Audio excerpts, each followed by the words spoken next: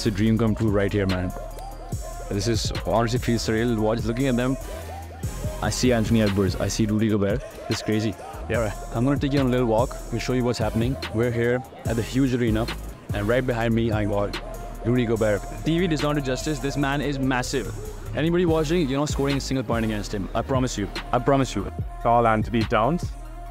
It is.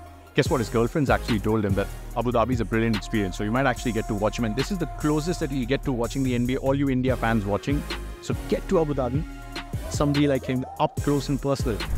Behind me, I have Dallas Mavericks. The goddamn Dallas Mavericks. Go, go, go, go.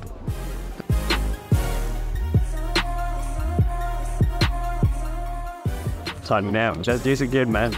Well, Jason Kidd. The media time is over. So we've been asked to leave. But you know us, even till the second we walk out, we're still gonna get as many glimpses as we can. But we've been asked to leave. So unfortunately, now we're out.